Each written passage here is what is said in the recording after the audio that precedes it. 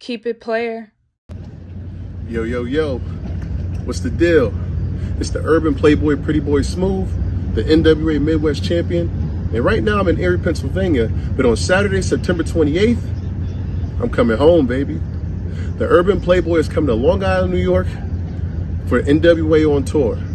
Now I'll be facing Georgio Lawrence and Bryan Idol. Now, Bryan says he has the looks that kill, but let's be honest. I got the fist that drill. And it's a good thing Georgio Lawrence is a specialist because he's going to need one when I put him on The Purple Rain continues. Keep it playing.